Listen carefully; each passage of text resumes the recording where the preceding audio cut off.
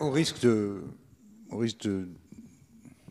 d'infliger un petit peu de peine à, mes collègues dans mon propre groupe, je suis en désaccord avec ce que vient de dire Monsieur Poisson et avec un certain nombre d'intervenants précédents.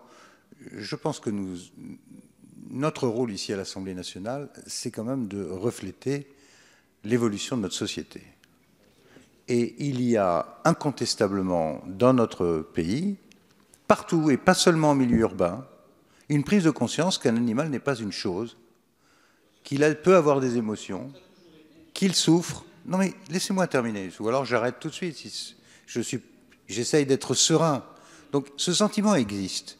Il nous appartient, dans le souci de défendre l'intérêt général et une filière économique qui est très importante pour notre pays, de faire en sorte de réconcilier cet impératif de respect de l'animal et de la souffrance animale avec euh, la viabilité de cette industrie.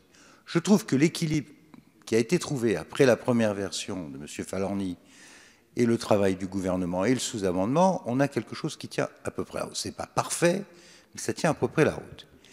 Je me permets, et c'est pour ça que je voterai, j'ajoute pour conclure, et je ne devrais pas conclure puisque c'est un problème fondamental, que nous vivons dans un pays laïque.